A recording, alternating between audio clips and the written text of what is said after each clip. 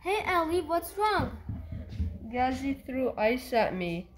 You can use your wits from the announcements you hear.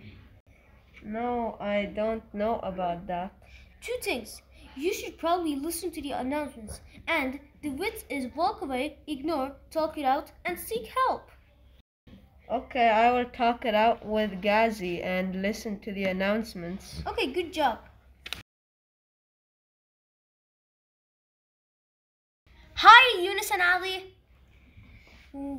Ali wants to know why you threw ice at him. Oh, sorry, but Ali, I didn't know I hit you. I shouldn't have threw it anyways. Thanks, I feel better now. Bye.